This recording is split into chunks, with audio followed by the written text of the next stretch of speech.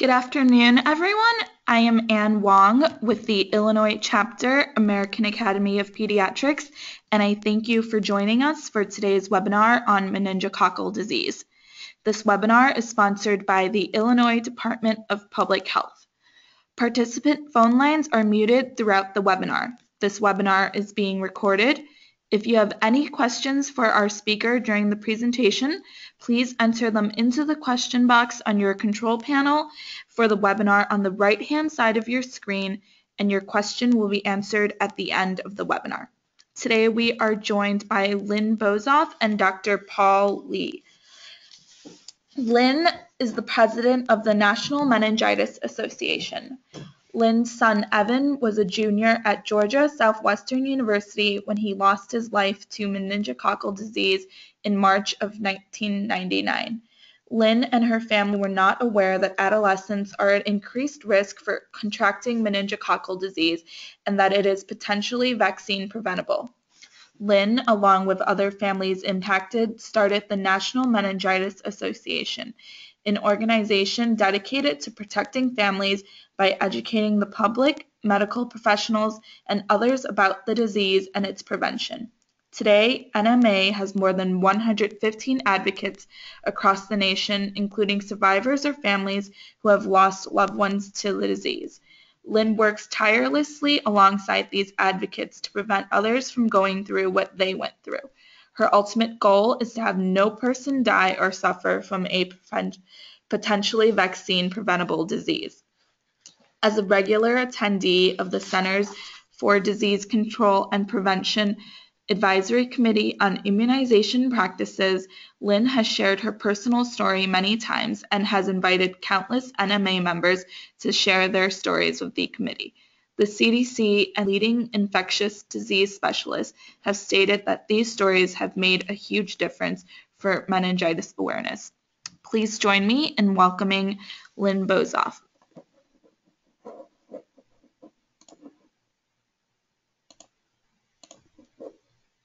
Okay, Lynn? Thank you, Anne. I'm really delighted to be here today to share my story and hope that um, there won't be another occasion where someone like me has to share a sad story. We can go to the next slide.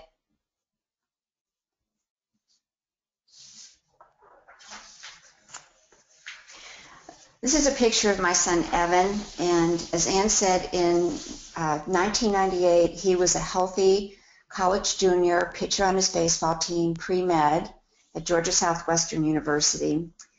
And he called one day with what he thought was a migraine. You know, I told him to go to the ER. I thought, okay, they'll give him something for the nausea and the vomiting. They told us he had a little virus. We said, do we need to come down and get him? And they said, no, he'll be fine.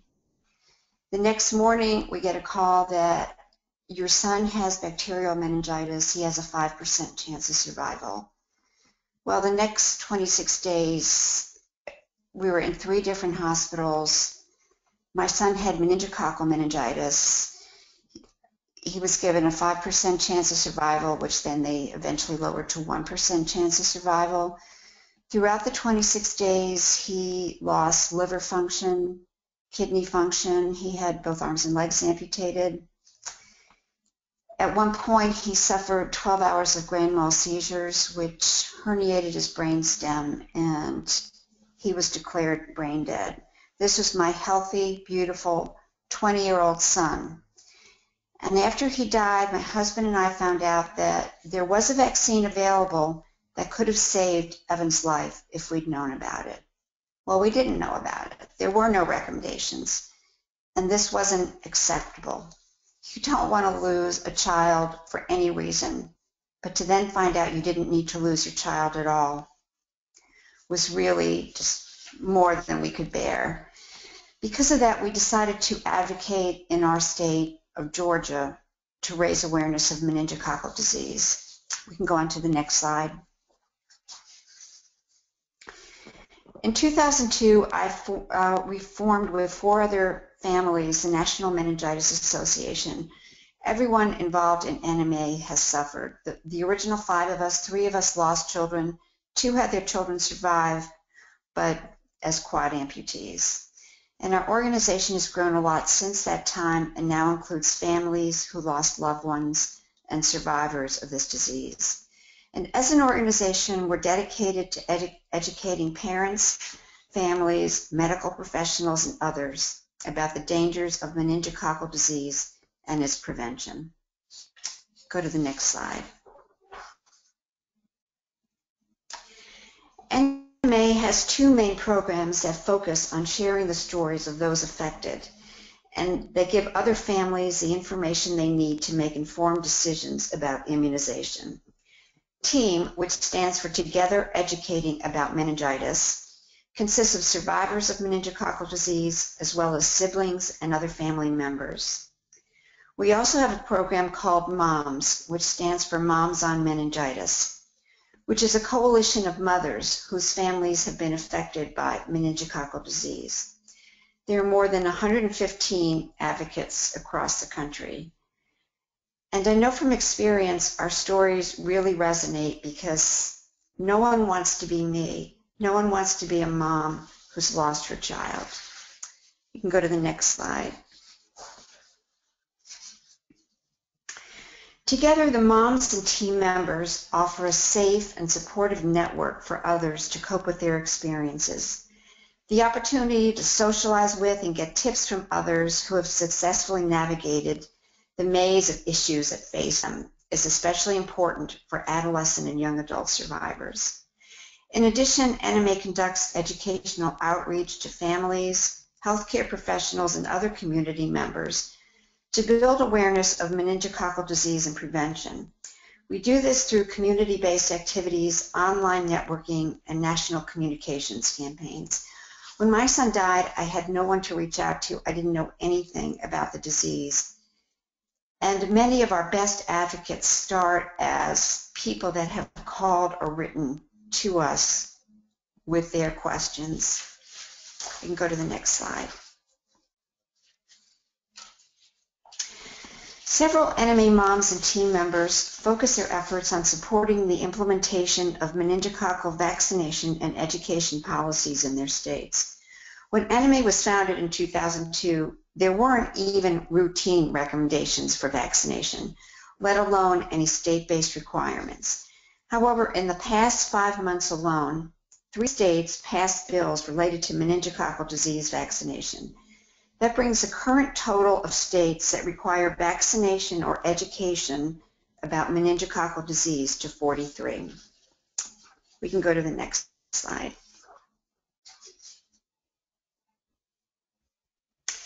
I'm pleased to report that Illinois is definitely a leader in meningococcal prevention. You have a law to require meningococcal disease vaccination for 6th grade entry and a new booster shot requirement for 12th grade entry which was implemented for the 2015-16 school year. Vaccination mandates for school entry are among the best ways to ensure adolescents receive recommended vaccines. Studies have shown that states with the highest meningococcal vaccination rates tend to have one or more vaccination mandates. In Illinois, there is also an educational requirement for all college students attending public universities in the state. Research has not shown a connection between educational requirements and high vaccination rates, so we hope to see a college mandate here soon. 79% of adolescents in Illinois have received the first dose to prevent the A, C, Y, and W serogroups. However, in order to be fully protected, adolescents and young adults in Illinois, we need to make sure they receive the booster dose at age 16. The new booster requirement will certainly help boost that number. But it's now also important to prevent serogroup B.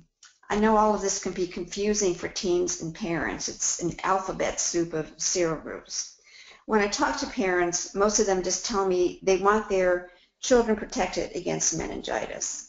Some of our moms have told me that they thought their child was fully protected, and they were shocked to learn that wasn't the case.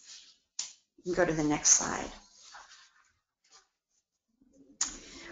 I want to share some stories of our advocates living in Illinois. Team member Blake Schuchart survived at age 18 and was on kidney dialysis before he received a transplant. Today, he works as a registered nurse who helps provide dialysis to people in their homes.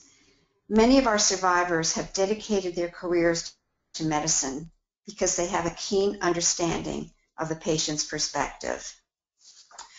Mom Lisa's daughter Sarah survived the disease when she was 13 months old.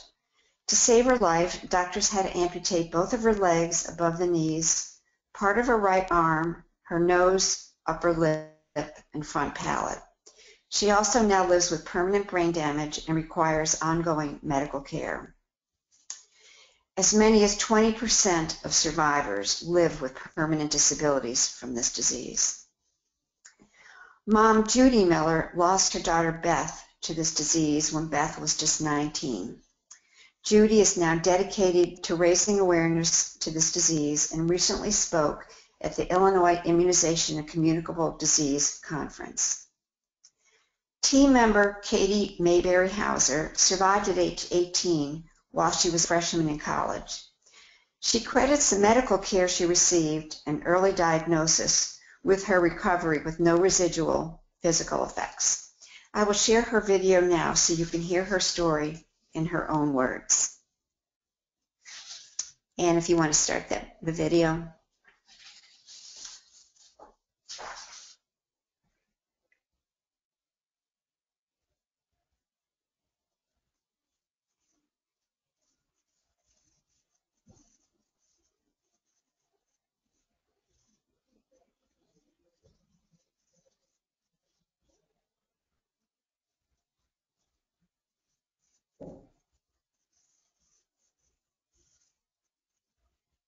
My kidneys, my lungs had collapsed, and I was put into a medically induced coma.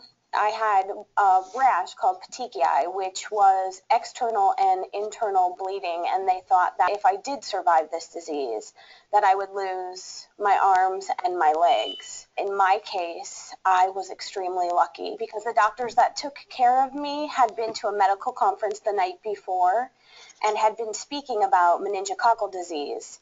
So even though I wasn't diagnosed right away, all the precautions and all the measures it took to save my life were in place. I got involved with the National Meningitis Association because I had never heard of bacterial meningitis before I had contracted it. I never want anybody or any family to be in the same situation that my family was in 15 years ago. So I am currently a team member telling my story, how I got involved with the NMA, and what the NMA's main goal of education and awareness is. Lives can be saved. Contact the National Meningitis Association.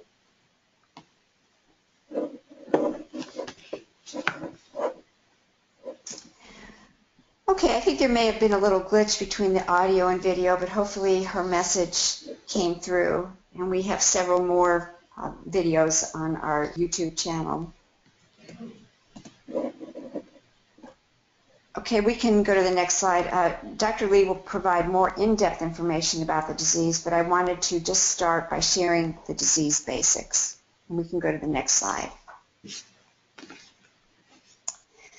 Meningococcal disease is a rare but potentially deadly bacterial infection that is sometimes called bacterial meningitis or just meningitis.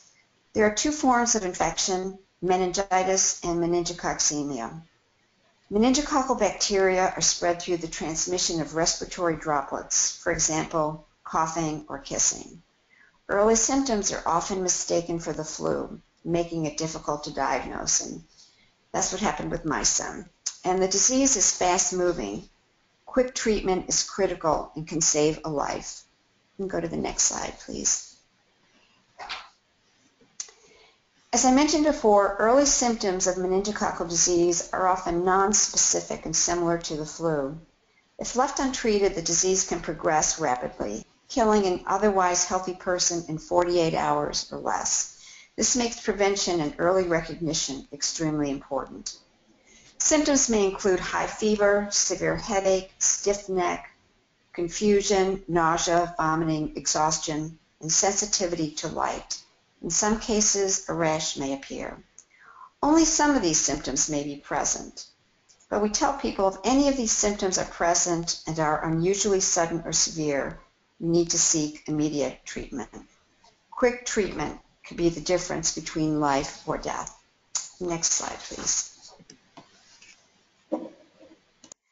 While meningococcal disease can strike anyone, teens are at increased risk for the disease. In fact, about 21% of all cases in the U.S. occur among adolescents and young adults. There is also a higher death rate in this group. Because living in dorms creates lengthy periods of close contact, college freshmen are also at higher risk.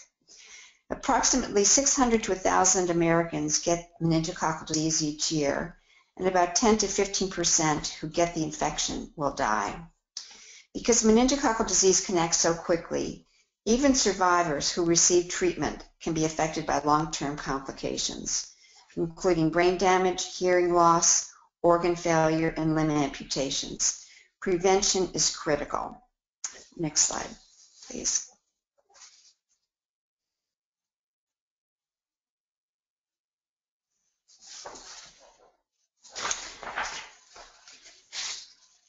Okay.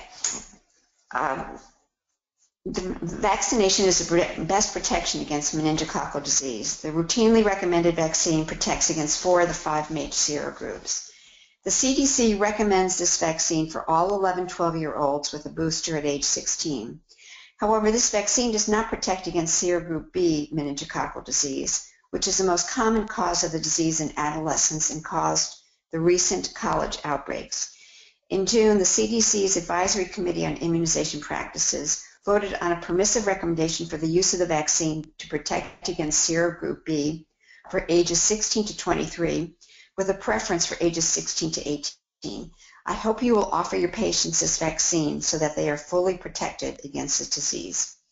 CDC also recommends vaccination for younger children and adults with certain medical conditions, travelers, and military recruits.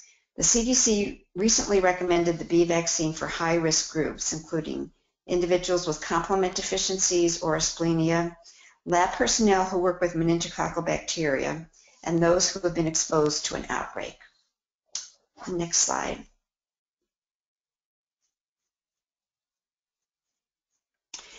As you can see, even though the majority of U.S. teens get vaccinated against meningitis, there is still a lot of room for improvement. Vaccination rates vary by state. One in five U.S. teens has not yet received a first dose of meningococcal vaccination, and less than one-third of first dose recipients have received the recommended booster dose. That means there are a lot of parents out there who think their children are protected, and they're not. And almost all teens are not currently protected against serogroup B. And as a note, this chart shows the national average, top and bottom three states in New York. Uh, next slide. And NMA has uh, quite a bit of information and resources on its website. We can go to the next slide. For more information, you can visit our website, nmaus.org, where there are many resources available to download or order. And next slide. And I encourage you to follow NMA on social media. You can find us on Facebook or Twitter. And one more slide. And thank you. And um, I know we'll do questions afterwards, but I encourage you, if you have any questions, please either call or email me. Thank you so much.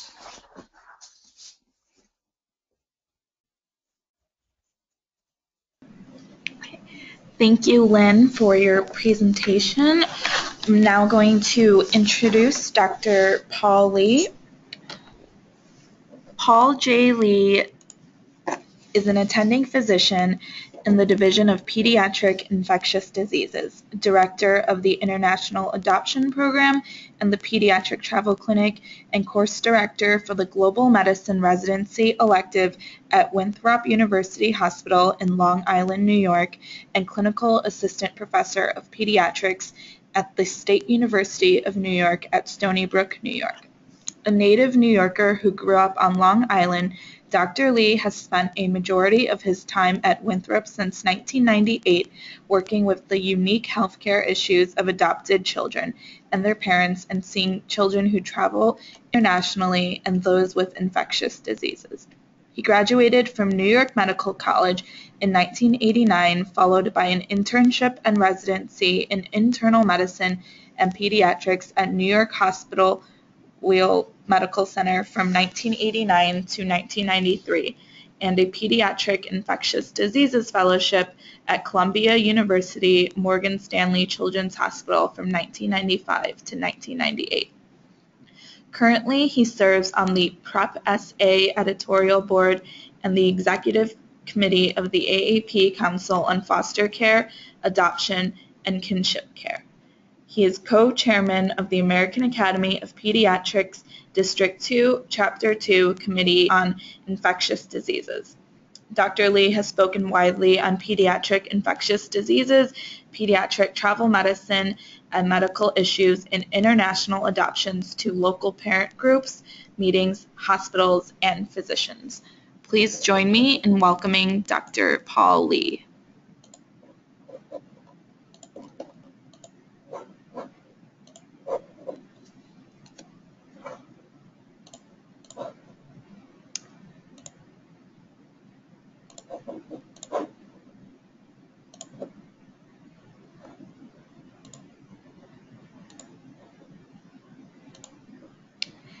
Okay, Dr. Lee, you can now begin. Yes. Uh, thank you for, uh, and I apologize for the overly uh, lengthy uh, intro uh, bio. Uh, I really haven't done all those amazing things, as or it seems a lot longer than what I've really done with, but I've really enjoyed doing a lot of things for the AP, and it's really um, a pleasure to be able to speak to you today. Um, I think the most important thing to uh, take away from this webinar is, you know, really the Lynn part of the story.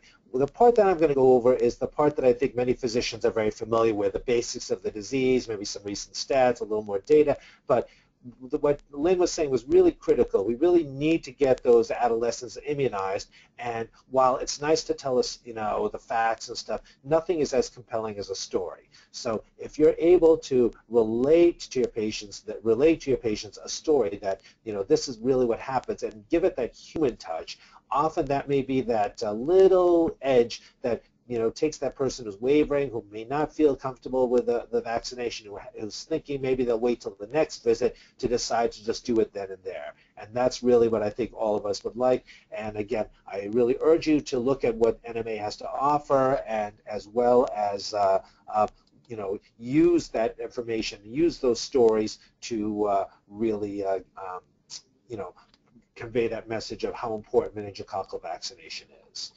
And some reason I'm out of the, there we go. All right, so there's all my titles. I'm just going to do my quick disclosure. I have no current financial relationships, although uh, within the past year I did speak for Novartis Vaccines and QIAGEN Labs, and I will not discuss off-label use and or investigation use in my presentation. So Meningococcal disease, as we know, is challenging. It's a persistent global health problem. As I think what my bio had mentioned, I have a particular interest in global medicine, and meningococcal disease is, is a problem around the world. So this is a major global disease, and it's a persistent global disease. It causes both endemic and epidemic disease. So spot cases as well as widespread disease. As Lynn so clearly illustrated, early disease can be hard to distinguish from common viral illnesses and misdiagnosed as the flu. It's very rapid, very um, has rapid onset and progression, and there's high morbidity and mortality despite effective antibiotics. In case you really need to know the microbiology, it's a gram-negative diplococcus, and there are actually 13 serogroups, but most strains are non-pathogenic, except for the big five, A, B, C, W, 135, and Y. And you can look at the table there um, yourself. You know, I'll just hit on some of the main things. A is a leading cause of epidemic meningitis worldwide, very prevalent in Africa and China where they actually do vaccinate children for it um, in China. Uh, we rarely see it in the Americas. B is, again, a major cause of endemic disease now in Europe and the Americas. Uh, C is a significant cause of endemic disease in Europe and North America with multiple outbreaks in schools and communities. Um, W135 is only a small percentage of cases, but have been associated with uh, uh, um, the um, Hajj pilgrims as they make their uh, pilgrimage to Mecca during the Hajj. Um, one of the reasons why Saudi Arabia requires, not even requests, requires a meningococcal vaccination for the Hajj pilgrims or proof of, of that vaccination. And Y is the leading cause of endemic vaccine preventable disease in the U.S. and affects all age groups, also associated with pneumonia.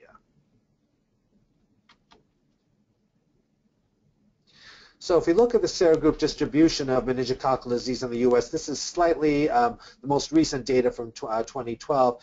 B accounts for about 40% of meningococcal disease, although this is taken from the uh, uh, ABC, the active bacterial core surveillance reports of the CDC, and you can see it only represents about 57 cases. This does not represent all the cases in the U.S., but is a sampling uh, from, as you can see at the bottom, um, areas in California, Colorado, Connecticut, Georgia, Maryland, Minnesota, New Mexico, New York, Oregon, and Tennessee but B makes up, uh, as of the 2012 ABC report, about 40%. About a third is serogroup Y, um, and about uh, 18% um, is C, and others and others that were not type were uh, make up 9%. Uh, However, although this slide looks a little bit different, we do see that a lot of disease never gets uh, serotyped. So you can see the red off to the left actually represents unknown serogroups where, again, the child came in or the patient came into the emergency room looking sick, antibiotics were pushed right away, they recovered gram-negative Diplococcus cocci, but they were already dead, and you need living bacteria to do the serotyping. So we can see in over half of cases we really don't identify that particular serogroup, but of those, B represents a substantial portion of those um, that are typed, and ACW135 and Y make up, uh, uh, again, it's almost like a, a close to a 50-50 split.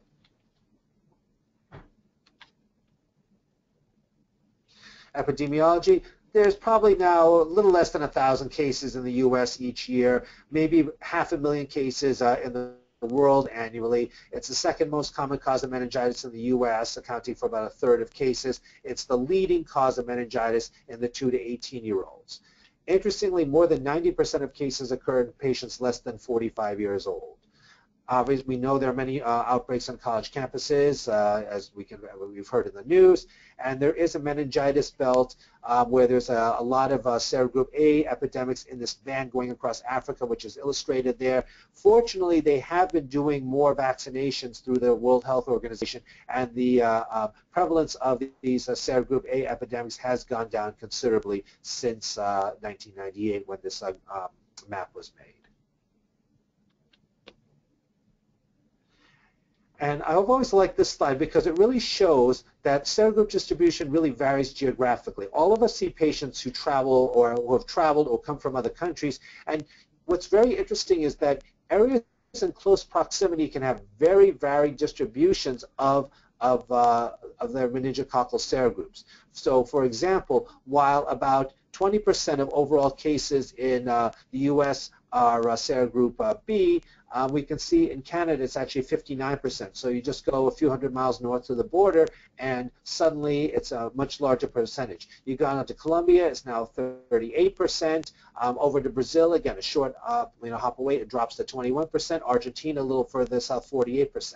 If you look at Europe, uh, again, one of the reasons that uh, um, the B vaccine, serogroup B vaccine was uh, so, um, you know, uh, there was such interest in it was that almost three quarters of their meningococcal serogroups are serogroup B. We can see again large percentages in Japan, Taiwan, but then when you look at Africa, Middle East, um, South Africa, Turkey, we see again much lower proportions. So again, it just you know goes on to show you that uh, um, almost like the flu, these serogroup uh, distributions can vary wildly again within a very uh, small geographic area.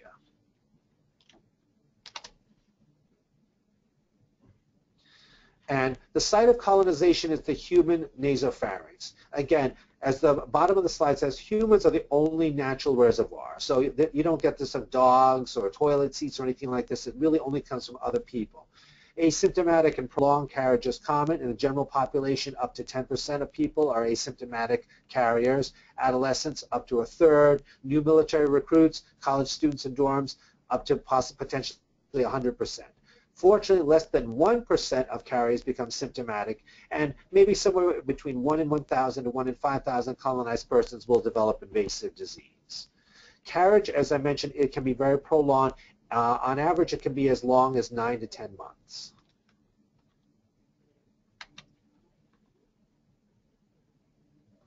Transmission, person to person by respiratory droplets or direct contact with oral secretions. Again, shared cigarettes, drinking glasses, kissing. So the droplet is susceptible to drying, so close, close contact within three feet is necessary for transmission. However, we know that most patients who have developed this terrible disease have not had contact with a case, so asymptomatic carriers are usually the source of transmission.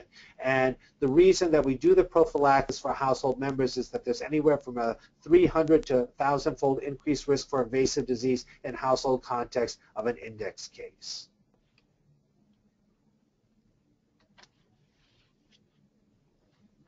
So what are the risk factors for developing meningococcal disease?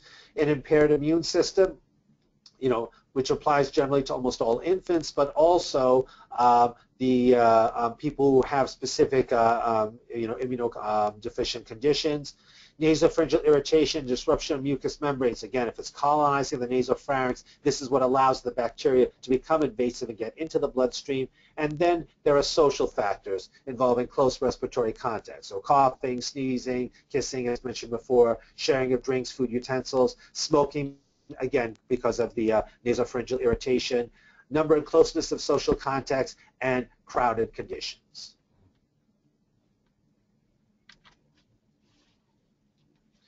Fortunately, the incidence by disease has been falling over the past uh, um, 35 years or so, 30, 35 years, and we can see although there are little upticks here and there, we can see between 1991 and 1996 there was an increase kind of going downwards, and then you can see even around 2008 there was a slight tick upwards before the uh, overall general trend downward.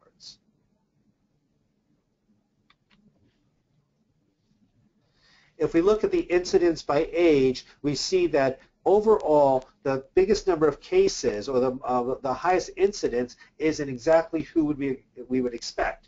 Uh, we generally expect disease to be most severe in the age extremes. They're very young and they're very old, and we can see again those less than one tend to have the highest incidence rate. And we can see that serogroup B makes up a substantial uh, percentage of that uh, of identifiable of all of, of uh, the disease overall. But the pink represents again unknown serogroups. But if you just look at the uh, blue compared to the uh, um, green, blue represents the vaccine currently uh, vaccine preventable strains and the quadrivalent vaccine, and you can see serogroup B again is a substantial number. It still remains a substantial number in the one to four year olds. Um, a decent number in the 5 to 14 year olds, and again a substantial number in the 5, 15 to 24 year olds. What is also interesting that I take away from this slide is if you look at the overall incidence, while it does go down, it does start to come back upwards in the 15 to 24 year olds. It's lower again, but then also increases as we would expect in those greater than 65. And it's just interesting that, again, people that we would normally consider to be at high risk, those greater than 65, seem to have an incidence rate just about somewhere in the same ballpark as those 15 to 24 years of old and those one to four years old.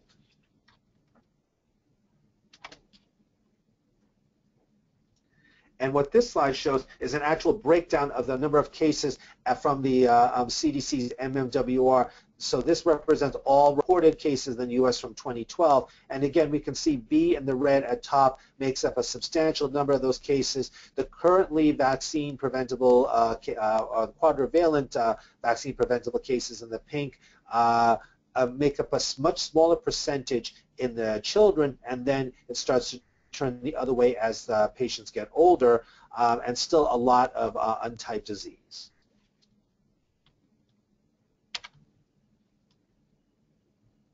So as Lynn had mentioned, and again, um, I'll go through this quickly because uh, I think uh, Lynn's uh, description of what happened to her, um, Evan really kind of says it all. But you can see here that uh, um, within the first 48 hours, there's irritability, loss of appetite, fever, nausea, sore throat, runny nose. Nothing specific. Again, we see patients like this all, uh, all year round. Within the next, um, uh, you know, uh, seven to eight hours, we see the petechiae start to form, purpuric rash, the neck stiffness, the photophobia as the bacteria starts to reproduce rapidly within the body.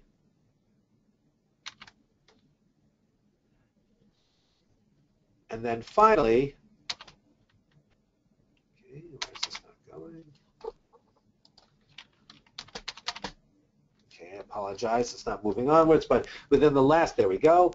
Um, okay, sorry, there's a little lag there, so I'll go back. Within the last um, um, eight hours, there's an illustration of the particulate purpuric rash. And then finally, within 16 to 24 hours, so again, this all happens within a day, confusion and seizures. Uh, they lose consciousness, they develop sepsis, shock, multi-system failure, and death. Median time from hospital admission to from uh, uh, from the disease onset is only about 19 hours, and that's really frightening for, uh, when you consider that you could be totally healthy, and by this time tomorrow you could be either uh, um, on your way out or in an intensive care unit in critical condition from this disease. And it's really that fast. And unfortunately, intervention often does not occur until patients have these late-stage symptoms. Um, it's uh, um, very unfortunate that uh, um, by the time you get to this late, these late stage symptoms, again, um, it really may be too late. There are other clinical symptoms about you know, half of patients develop sepsis, close to half develop meningitis, a smattering of other things, but up to 60% of infections will get actually the worst of both worlds. They will both they'll develop both sepsis and meningitis. Mortality rates are highest with sepsis. Over half of the patients will die from this. With meningitis, with sepsis, about a quarter of patients will die.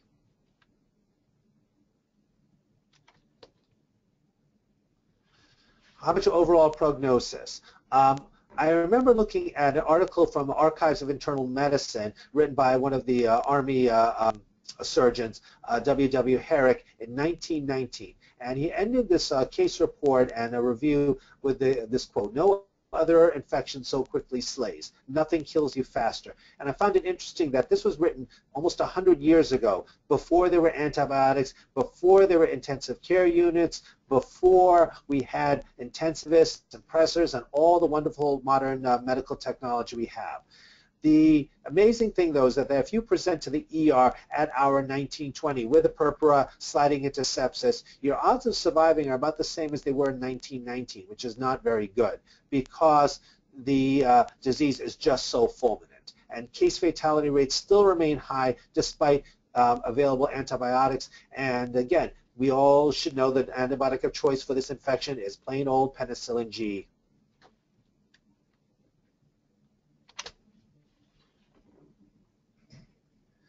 So case fatality rates in the general population range from 10 to 14 percent, although again, very interestingly, I often, uh, you know, ask, patient, you know, uh, you know, uh, residents or medical students, who do you think is more likely to succumb from this, a six-month-old or an 18-year-old uh, football player? Interestingly, the case fatality rate seemed to be higher among the adolescents and young adults. It really approaches that 25% mark, which again is substantially higher because among infants, the same case fatality rate is closer to 6%. Nearly half of the patients hospitalized within the first 24 hours of their illness will subsequently die, many within a few hours. Um, and again, if you look at the NMA site, read through some of their stories, um, you will see, and if any of you have taken care of a patient, you are probably very well acquainted with how terrible and how quickly this disease can take you. Among the survivors, uh, it's interestingly, the CDC statistics say it's 11 to 19% suffer significant sequelae, limb amputations, hearing loss, brain damage, seizures, other serious sequelae.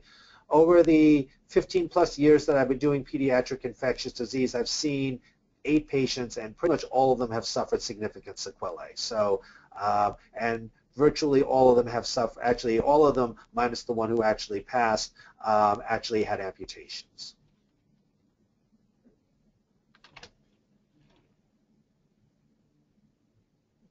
So serious outcomes. If you have meningococcemia, which is again just the fulminant bloodstream disease, you can see listed there the uh, serious after effects, skin sores, limb loss from the gangrene that occurs as the uh, septic emboli plug up the, those blood vessels. Kidney failure for the same reason, the septic arthritis, pneumonia, pericarditis, 40% fatality rate. The meningitis alone, again, if you only have meningitis, you know, it's sad that at the bottom it's a 3 to 10% fatality rate. You know, again, happier numbers compared to what can happen with meningococcemia or meningococcemia with meningitis. But still, you're left could be left with hearing loss, quadriplegia, hemiparesis, stroke, cerebral edema, cranial nerve palsies, and in uh, some of the patients I've seen, permanent intellectual disability.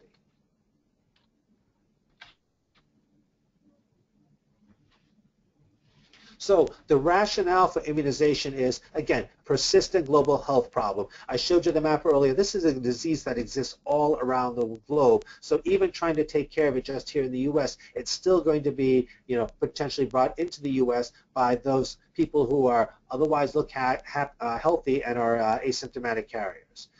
Now, again, second important rationale for immunization, 98% of cases are sporadic and isolated. One case here, one case there. They really don't have those large outbreaks. We're probably much better at handling epidemics and dealing with a mass outbreak, but when you have just one patient in the community that has it or one of um, patient in the town, it becomes much harder to figure out how you're going to you know, protect uh, uh, everybody again, you could probably throw out uh, antibiotics and prophylax lots of people, but again, as we know, the anticipatory guidance, the way of, best way of prevention is to try to make sure that they don't contract the disease in the first place through immunization. Third rationale for immunization, early disease is hard to distinguish from common viral illnesses, as both Lynn and I have said, and it's often frequently misdiagnosed as a simple viral illness. And again, I think any of us would say the same if we just saw a patient who was a little achy, having some fever, coryza, and again, these very nonspecific mild symptoms. But again, as we know, it is rapid, has rapid onset progression, and high morbidity and mortality, especially among 15 to 24 year olds. Again, uh, the group that we would normally think would be the healthiest, the ones that need the less, you know, uh, care, um, and uh, the the ones that we assume would do, the, you know, the best uh, out, of, uh, out of anybody who gets sick. Uh, we just have these high morbidity and mortality rates in these 15 to 24 years, higher than other age groups despite effective antibiotics and hospitals, hospital supportive care.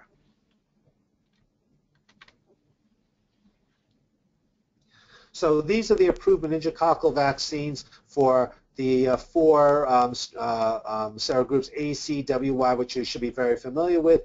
Um, as of 2015, um, there was the original polysaccharide vaccine, Menomune. Again, these uh, um, what distinguishes the A, C, W, and Y are polysaccharide antigens. That's how we classify them. So it's. It makes perfect sense that you would have um, a polysaccharide vaccine. So it's a it's actually uh, these specific antigens, and your body will identify these antigens and make antibodies against them. So it's a quadrivalent vaccine. It contains a polysaccharide uh, antigen A, C, Y, and the W135.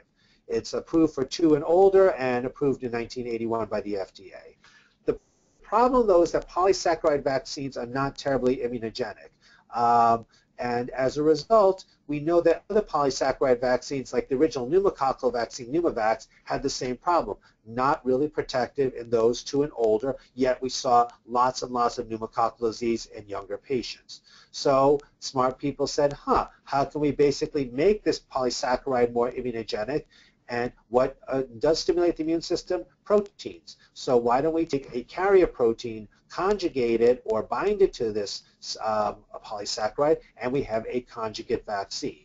So the first of these meningococcal conjugate vaccines was Menactra, um, for uh, which came out in originally came out in 2005, which used a diphtheria toxoid carrier protein. And then jumping to the bottom, Menveo, which used a different carrier protein, CRM197, which is the same carrier protein in Prevnar, conjugated to the four polysaccharide groups. Uh, Menveo came out uh, five years after Menactra, and then, as you can see, uh, under both Menactra and Menveo, they uh, both got an uh, indication down to two years of age, and then Um, one minor difference between these two vaccines, Menactra is FDA approved down to nine months of age through 55 years of age. Menveo is approved down to two months of age up to 55 years of age. And finally, the uh, last approved meningococcal vaccine for men ACWY is the Menhibrix, which is the meningococcal C and Y because, as I had uh, shown you earlier, C and Y represent the bulk of uh, disease in the U.S., with A really not being seen here in the last 50 plus years, and W135 again rarely being uh, seen, um, and combining it with the Hib vaccine and creating a Hib Men CY vaccine only, uh, again, using a tetanus toxoid and indicated from 6 weeks to 18 months of age as part of that primary Hib uh, vaccination series, and that was approved in 2012. I won't spend much more time on this because I think most of you, again, and Lynn touched on this as well, are very familiar with the 2015 meningococcal conjugate vaccine recommendations. Again, it is you know, uh, universally recommended for persons age 11 to 18, two doses, you know, first preferably at 11 to 12, with a booster at 16 to 18. No boosters required if the primary dose was done after 16. Uh, if you're HIV infected, two doses, two months apart. Um, as Linda touched on, persons age 2 through 55 years with persistent complement uh, um, uh, component deficiencies, um, or functional uh, anatomical asplenia, two doses, two months apart, and at the earliest opportunity, if a one dose uh, primary series administered, then you can give it every five years. And then finally, persons age 2 through 55, that's weird. Not sure why that happened, so my apologies.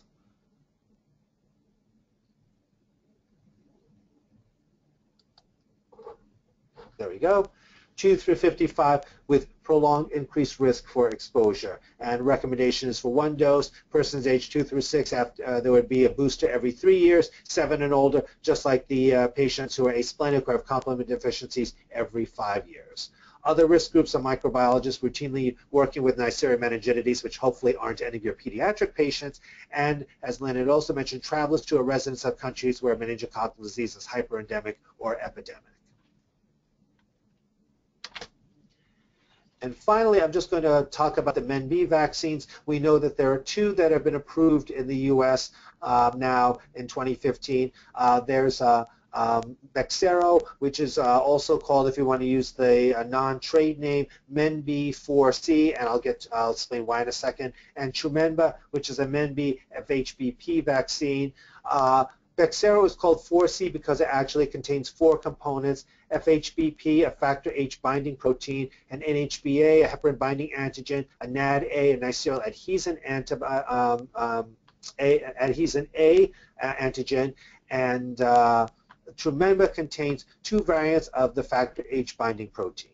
You can see here Bexsero is two doses, approved 10 through 25 years of age by the FDA. Trumenba, same thing, although it's three doses. So this is just a quick thing, and I know it's a little a bit busy, but the problem with the MenB vaccine is that, again, as polysaccharide vaccines, uh, the problem with MenB and why B was so, so difficult to come up with a vaccine for is that the polysaccharide uh, coat of, uh, of um, meningococcal B has a lot of sialic acid residues. Well, our neural tissue in our body contains a lot of sialic acid residues. So basically, MenB looked a lot like nerve tissue, and your body's not going to want to create antibodies against your nerves. So as a result, the MenB vaccines tend not to be very immunogenic. So the approach that was taken was to look at what are called these subcapsular proteins. This FHBP, the factor uh, um, heparin binding protein, these different PorA's, this NAD-A subcapsular protein, and then use that as the basis for the vaccine.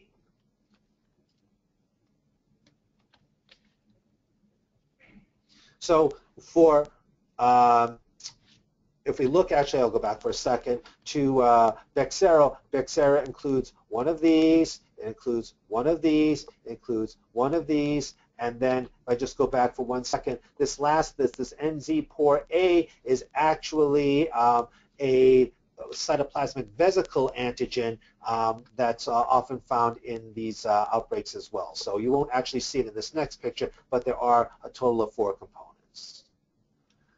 Trumenba uses that same factor H heparin binding protein seen here. It turns out there are actually two subfamilies, A and B. So um, so Trumenba's approach was to just basically say since FHBP is expressed in more than 97% of serogroup B meningococcal disease strains, um, they would target this particular and use both subfamilies. Bexsero uses the factor heparin binding protein, uh, uh, factor H uh, heparin binding protein, but only uses the subfamily A.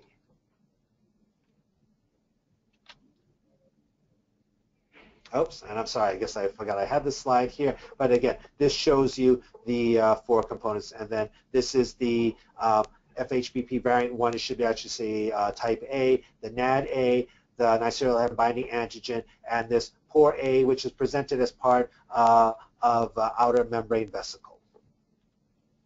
And as you can see, the outer membrane vesicle was taken from a New Zealand outbreak strain.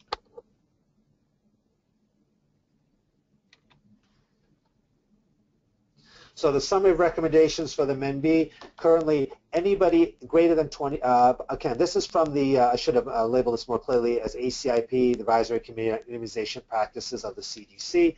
So ACIP actually said that anybody 10 years of age or older at increased risk uh, with persistent complement component deficiency, which are listed below if you really want to see here all these specific things, if you're taking this particular medicine for paroxysmal nocturnal uh, um, hemoglobinuria, uh, functional or anatomic asplenia, the microbiologists again, and those at increased risk because of a serogroup uh, B outbreak. And this was the recommendation that had come out of the February ACIP meeting.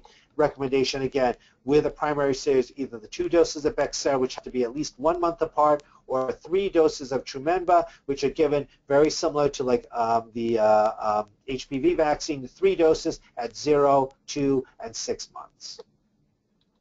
The June meeting, as Lynn had mentioned, um, the recommendation that came out was that it may be administered, so a permissive indication to adolescents, young adults 16 to 23 years to provide short-term protection against most strains of serogroup B disease. Preferred age, as Lynn had mentioned, 6 through 18 years of age. This was given, though, a Category B recommendation, um, and that's important because Category means that B means that it is up to the provider to make that decision. And the reason that ACIP specifically made it as a Category B, Category A is the usual mean uh, recommendation, which means it's universal, applies to everybody. Category B, however, still means that it's a clinical call and really makes it more uh, likely that insurance companies will cover it because they're basically saying that it's not like um, you know, a totally permissive uh, recommendation. If your clinical judgment is that uh, uh, this patient requires uh, or you know needs this vaccine, then um, it's, uh, it's, it's, uh, it's really justified at that point. point, and as a result, many of the insurance carriers will likely be covering uh, the vaccine uh, or for the patients who request it. But again, it was still not fall short of that universal recommendation. The other difference that ACIP had uh, uh, taken was that although FDA has only approved both vaccines for 10 through 25, ACIP has, has actually specifically said anybody 10 years of age or older at increased risk may receive the MenB vaccine. So again, slight difference between what FDA says and what the ACIP has said. So I'll Oh, and since people often worry about side effects, uh, most common solicited side effects for the MENB4C, the Bexsero in the seven days after C were pain at the injection site, myalgia, redness, fatigue, headache, induration, nausea, and arthralgias. Most common solicited adverse reactions occurred seven days after receipt of MenB FHBP, the Trumenba, in clinical trial of pain at the injection site, fatigue, headache, myalgia, and chills. So I'll conclude with another point that uh, Lynn had brought up, which is that we're doing pretty well. We, you know, are uh, at about almost 80%, which was the Healthy People 2020 target for at receiving at least one dose of MEN ACWY. But if you want to be the pessimist, looking at the other side of the glass, while we're approaching that four out of five have received it, as Lynn so clearly uh, you know, explained, one out of five still have not even received that one dose. So given the devastation of this disease, we really need to make sure that we're get, reaching out to that last one in five. Um, again, we've come close to the healthy people 20 originally um, uh, Healthy People 2010 target of 90% for Tdap, and obviously for HPV, we're still quite lagging. This is the female data, and as we know, for at least one dose for the males, it's probably about half that in the uh, 30s. So U.S. has still not achieved its goals for adolescent vaccination, except for Tdap, despite both AAP and ACIP recommendations. So I'll just leave you, you know, charge you with the uh, fact that um, we are doing very, very well thanks to all our efforts. But again, given how terrible this disease is and what it can do to our patients, we really want to continue to push onwards and eke out that those last few inches and try to make sure that we really receive, make that 100% mark. And thank you for your attention.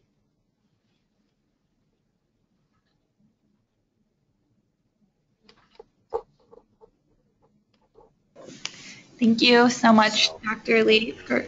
Turn this back over. Oh, yes. Okay, thank you, Dr. Lee, for that presentation. Um, we are now going to take some questions from people. And just a reminder, it's going to be on the right-hand side of your screen. There's like a little questions toolbar that you guys can answer your questions into. So um, Dr. Lee and Lynn, I'm going to read the question out loud to you guys, and then um, you guys can answer the question whoever thinks that they can answer it best. So first question that I have. I'm going to have to unmute Lynn, and I I, I don't see the uh, the control to uh, you know, hand over control back to you. So let me. Uh, oops. Oh, I already I already have the control back. So. Okay. Good. I was going to say, looks like, uh, okay, good. Okay. So um, the first question is, if type B accounts for so many cases of type B, why did the CDC not recommend it for routine use? And will manufacturers combine the vaccines into one meningitis vaccine? Um, I guess uh, I'll start off and Lynn can uh, jump in as well. Um, the reason, unfortunately, I think, as we're starting to see with many things in medicine, is and, and ends up being dollars and cents. Yes, it is a lot of disease percentage-wise, but as I think uh, one of my uh, slides showed, the percentage of number of cases is going down. If there's less than a thousand cases in the U.S. Um, each year, and we're talking about vaccinating millions of people, you know, somebody's going to have to pay the bill for all these vaccines, particularly a two-dose series. So, unfortunately, somewhere along the line, you know, these pragmatists come in and say, well, wait a minute, how many lives are we saving? Um, and then they do that horrible term that I, I, think all of us in medicine cringe at, cost-benefit analysis, and then decide, you know what, is it really cost-beneficial to spend billions to maybe save, you know, a few dozen people or, you know, a few hundred people? Um, it's a terrible way to look at things, uh, one that I don't particularly agree with, and I think many people would strongly disagree with. But in this era where everybody's screaming about healthcare costs, unfortunately, ACIP and other, government groups really have to start to take a look at this. So um, eventually, hopefully, maybe as costs of the vaccine come down and as if the disease continues to be as terrible and as if there's enough ongoing public pressure, hopefully this will become a, a standing vaccine particularly if, as I think the questioner said, if it is combined into, uh, so you have a pentavalent vaccine with A, B, C, W135 and Y. Unfortunately, that would also require further studies to show that and a whole new set of clinical trials to show that it's immunogenic because if you add something to it, you have to start all over again. It's not just, you can't assume putting everything into one means that it's just the, the same as giving two separate shots. And also at the ACIP meeting, they did say that they would readdress the recommendation as more uh, post-licensure data became available yes, I mean safety is always a concern, and I think the one holdout uh, on the on the vote uh, in June was because of concerns about safety. And yeah, because these vaccines have only been out for months, there's really no long-term data. But presumably, uh, uh as we gain that data and people get more confident, comfortable with this vaccine, uh, we'll see better acceptance as well. Okay, thank you. So um, the next question I have is, do we need to recall our kids who have received Menactra as required for 6th grade and 12th grade for a MenB vaccine? If you're talking as to me, as a parent who's lost a child, I would say yes, you want to get your 16-year-old vaccinated with the B serogroup. Because even though the disease is rare, someone is going to get the disease, and you don't want it to be someone that you care about. And the way I would phrase it is you don't need to recall them, but you don't need to wear your safety belt and you don't need to buy car insurance. You know, there, um, it's not a requirement. Again, this is not, again, uh, as you know, again, it's a Category B recommendation, so it's not a universal recommendation. It's really your clinical call. If you feel this is something that would benefit your patients, and again, as long as, again, hopefully um, you will verify with the different insurances that they are going to cover it, which um, I think there's very strong belief that they will. Certainly through uh, um, the uh, um, oh great uh, uh, Vaccines for Children program and uh, the, the, the uh, MenB vaccines will be covered. And if that happens, many insurance companies will, especially given this Category B recommendation. So it's something that if uh, you offer it to your patients and they are interested, it should be covered. But uh, um, I would certainly treat it in many ways probably uh, like a flu vaccine, uh, or actually like flu vaccine in the sense that it should be offered to everybody, and if they do it, again, hopefully make sure that it will be covered. But I shouldn't have used that comparison because, again, flu vaccine is a universal recommendation. Okay, so our last question is, and you know, once again, just my wanted to remind people that if you do have any questions, feel free to enter them now. So um, we recently started administering Trumenba. Our main concern is if a patient is receiving the series at 16 years old, will they have the sufficient protection before entering college? Um, great question. Um, again, if and I guess the problem is that because the vaccines have not been out that long, um, in the original um, trials, and I guess this is just uh, information if uh, anybody wants to dig deep deep enough, they can um, you know find uh, from different uh, um, you know um, scientific meetings where data was presented. Um, there is data going out about a year or so where the titers seem to be holding up well. Um, certainly, at least with, with I know the experience with um, Menactra was that the titers seem to fall out after five years. So again, the thought is if we're, and I think ACIP is thinking uh, along a similar lines that if we give it at 16 to 18, it should cover them through their college years, assuming that uh, they don't decide that they want to travel to Europe and take lots of time off and do that seven-year uh, college experience instead of four. Okay, oh, we have another question right now. Um, Lynn, did you have anything to add to that, or should I go to the next question? No, you can go to the next question. Okay, so our question is, can you give Menactra and Trumenba on the same day, or do they need to be separated? Um, ACIP has said that they can be given on the same day. Okay, so, oh, and another one just came in. And actually, I should just add, ACIP has also said that uh, from their perspective, um, any of these vaccines can maybe co-administered uh, with other routine uh, um, adolescent vaccines, and that was looked at in the uh, clinical trials for both uh, the Trumenba and the Bexsero. Okay, thank you, Dr. Lee. So another question is, has this disease anything to do with high temperature zones, especially in Africa?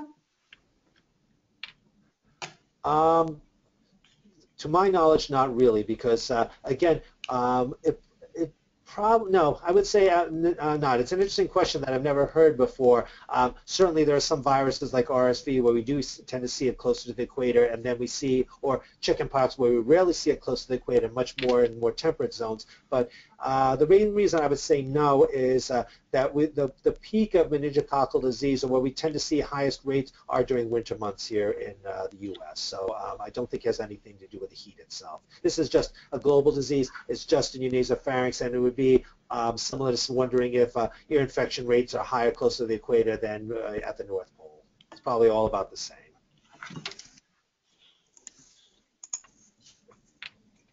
Oh, and um, they added because it is endemic in northern parts of Africa. Yes. Um, at, well, actually, more along that mid part of sub-Saharan Africa. Yes, the Men A seems to be very um, uh, persistent there, although they have knocked it down by about 80, 90% over the past uh, um, uh, 10, 15 years.